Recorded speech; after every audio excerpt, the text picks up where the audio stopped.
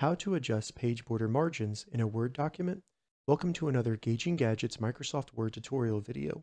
In this video, I'm going to show you how to change or adjust the page border margins on your Word documents. So it looks just like this, where the border is not going over the entire page. You can control exactly where it will be displayed. And if this video helps you, please consider giving it a like and also subscribing to my channel because that really helps me out. Right, so to get started, the first thing we need to do is simply open up Microsoft Word and have a page that has a border on it. From there, we need to first change the margins of the page so that the border can follow that. And to do that, all we need to do is go up to the top ribbons and select Layout.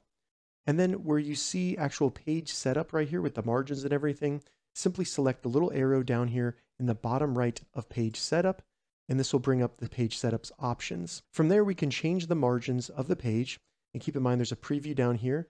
So if I want to move the border to the left or to the right, all I need to do is increase that side accordingly. You can also do this with the top and the bottom. So I'm going to move everything towards the right from the left side. So to do that, I'll increase the left. And as you can see in the preview down here, that will increase accordingly. And you can go pretty far. So once you have this configured exactly the way you want it, simply select OK.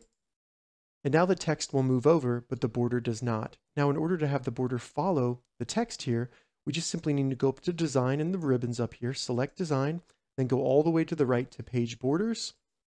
And once page borders is open, under apply to, select options. And then we just need to select measure from. And once we select the dropdown, simply select text and then OK, OK, and that will move the margin of the border. Now, if you're looking to change the margin of the border around the text so that it is either smaller or larger, you would use the same options in page border. Go to options, and then all you need to do is change the margin right here so that it is larger or smaller like so. And when I hit OK, you can see that that changed the margin around the text. All right, so that's how you adjust the page border margins in Microsoft Word. If you have any questions about this, leave a comment below. I'll get back to you as soon as I can. If you'd like to see more Microsoft Word tips and tutorials, check the links in the description. If this video helped you, give it a thumbs up, and please consider subscribing to my channel, Gauging Gadgets, for more gadget reviews and tech tutorials. Thank you so much for watching.